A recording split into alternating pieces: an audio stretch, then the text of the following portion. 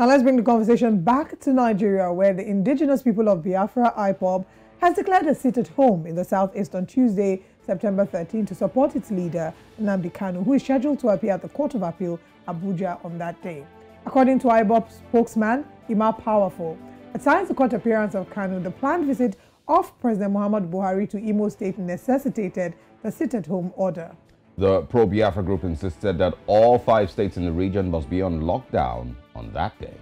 Meanwhile, the Imo State government dismissed the threat by the indigenous people of Biafra to shut down the entire southeast region on Tuesday, September 13th.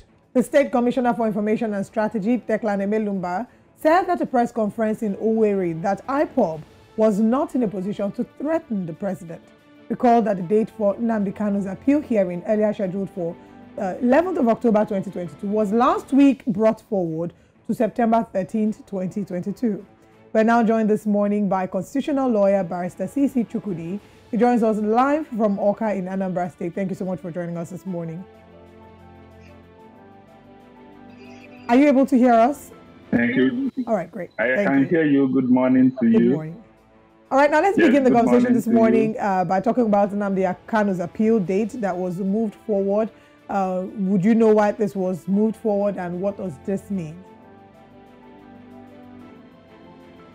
Uh, generally speaking, uh, when it involves a criminal uh, matters, it has been a laid down procedure, particularly on the current. Uh,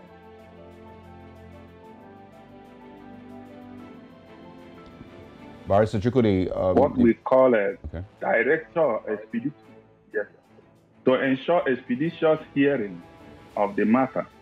So part of the reasons why such decision was taken is basically on the content of the recent practice direction, which ensures that all criminal matters should be given expeditious hearing, and matters of this nature, which involves a national importance, falls within one of the matters which must be given expeditious hearing. As such, elongating the date or declaring far dates on that will run contrary to the provisions of the practice direction as it concerns criminal matters. So that is the basic reason why it was brought forward. Okay, well, um, I hope we, we will get to talk about the legal aspects, but let, us talk about the Southeast now. The, the very first sit-at-home order started um, on the 9th of August in 2021, and uh, the, the indigenous people of Biafra has, um, of course, continue to, you know, every now and then, you know, order new ones. Um, what has been the reaction of people in the Southeast, you know, after this new announcement was made, uh, declaring another sit-at-home on the 13th? Uh, i- you know, generally speaking, the people of Southeast are no longer attuned with the regular declarations of sit at home. We've mentioned before now that not only that it affects the economic positions of the Southeast dwellers, it also affects the regular government policies of people who attend their regular market and government uh, work such as civil servants, such as private sectors, and other market people. However, declarations of sit at home on 13, which is sequel to the court, which is expected to come up on the same 13th of uh, September 2022, it, it will affect the general economic positions of the Southeast dwellers. But this would be to the extent to which people are compliant to such declarations. You see, people are tired of sitting down every Monday in, in at various homes without opening their businesses, opening their offices, and attending to their regular businesses on on earliest Monday. So, which of the days which has been declared to be a sit at home would be the date which is going to court? As a matter of fact, people are not well at home with it. However, there is no option on what else to do apart from the security dangers which it tends to pose for people who may default in such declaration.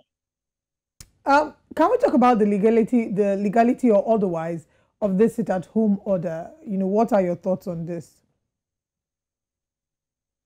It has no legal basis. I wouldn't waste time to answer that.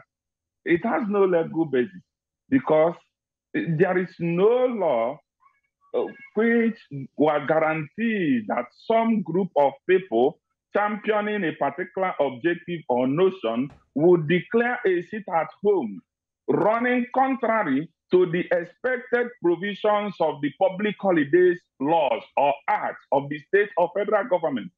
You know, one can only sit at home on a working day when there is a prevailing circumstantial positions warranting that.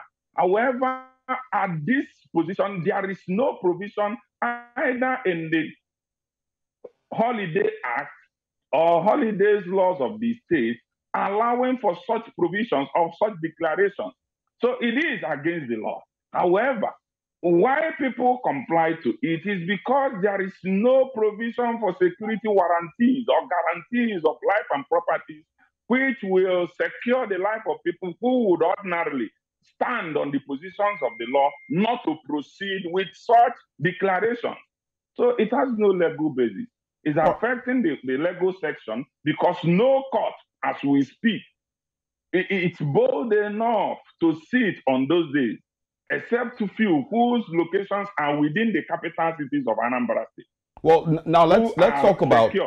Now you've spoken about the legality of it, you know, but you know we've seen that people most times have complied somehow, some way with the sit-at-home orders. If you have followed also in, in uh, parts of the southeast, every Monday, I think even in Enugu till now, Mondays, people still sit at home.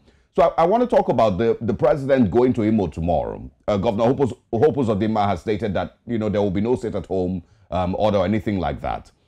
Uh, what do you expect to play out tomorrow as the president visits Imo State? We are talking about the President of Federal Republic of Nigeria. And we are talking about an order given by the state governor of a particular state. These two persons are the alter egos of that particular state and the law. So there must be apparatus put on ground to ensure that such visit is not marred by violence or in any form trying to truncate a lawful progress of democracy. You see, government is an institution. It's a government as an institution backed up by fundamental laws. There is no way a non-fundamental laws or non-fundamental organizations can make an order varying or trying to run counter to the provisions of an extant uh, law so the God, the President of Federal Republic of Nigeria's visit will not be affected by the same sit at home. It's a self-decision people have made so. The provision, you could remember, this is not the first time such a thing has happened in Imo State. We remember the first project Hope Uzodinma commissioned in Imo State. There was a declaration that all the people who are agitating for this particular set would sit at home. That day, it was like a public holiday. Not too many people uh, uh, came out for the occasion. That would be my anticipation of tomorrow. People by themselves may decide not to honor the event. However, um, seems we might be having some, tech- some principal positions, such as the Igwe officials, may be aware and may come out for the position. So it will not affect it. All right, uh, Mr. CC Chukudi, thank you very much for your time this morning. We have less than 24 hours to see how this eventually turns out tomorrow. Yes, yeah. All right. Enjoy the rest of your Thank day. Thank you. It is my pleasure. I appreciate. Thank you. Thank you.